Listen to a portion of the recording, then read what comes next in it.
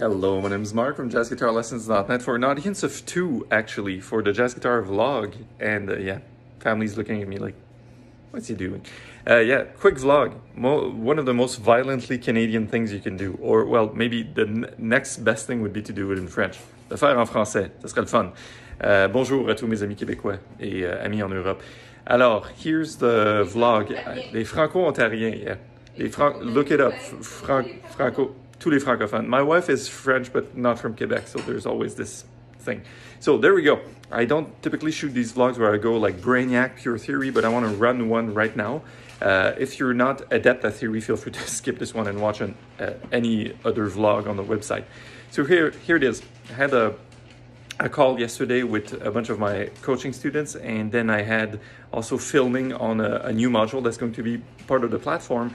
And we talked about tritone substitutions. And here's one thing the piece of advice is super simple do not alter your substitutions because, uh, and I'll go into detail of this. If you take a G7 and you tritone substitute it for a D flat 7 or a D flat 9 uh, for that matter, just don't make your tritone sub altered because if think about this. If you add a flat 9 to your d7 your d flat 7 that flat 9 is actually going to come back to being the diatonic d note the, the fifth of g. So the point is if you tritone sub make the tritone sub as plain vanilla as possible. Don't make it sharp 9 sharp 5 whatever because the notes you alter to it just becomes the regular notes of your g7 don't believe me? Don't believe me? Let's do it. So g7 is g b D and F, right?